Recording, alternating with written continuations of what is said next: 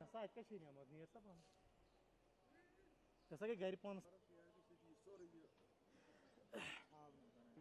Pena, é.